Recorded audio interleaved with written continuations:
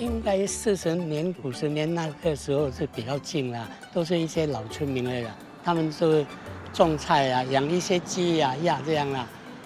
到了五十年代，慢慢就热闹起来，因为这个地方搬来很多了。对啊，香菜味道，不过也有鸡粪的味道啦。我们有猪、有鸡、有鸭。我还记得小时候呢，我去那个鸡寮啊。就是呃，把那边的蛋拿过拿回来嘞，我记得还是很烧的嘞。我去打开来，还有有血嘞。哎，我不知道他那个蛋其实是不可以拿的。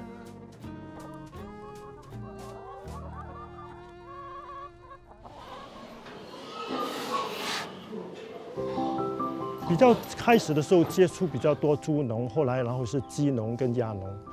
当时我的年龄相对是比较年轻的，所以跟农民的交往中，他们都很谈得来，而且也跟我们交流了很多他们养这些鸡鸭猪方面的一种经验，所以我们相处是相当融洽的，甚至在多年以后，我们在碰面的时候，我们还是能够很谈得来。因为我本身是住在市区，大自然方面就是你能够看到很多花草树木。尤其一些啊很少看见的花草，而且空气也相对清新很多。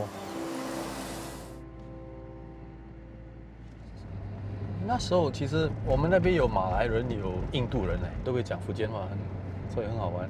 然后我们就是一起长大，一起过生活的。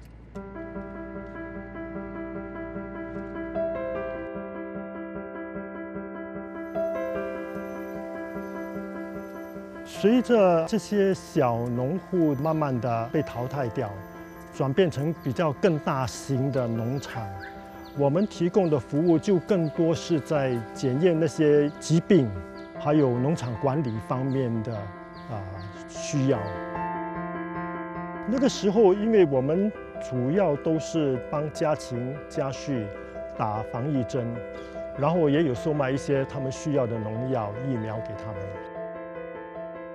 这是相当重要的，因为有一些疾病，万一没有打防疫针的话，他们的死亡率可以高达一百八千。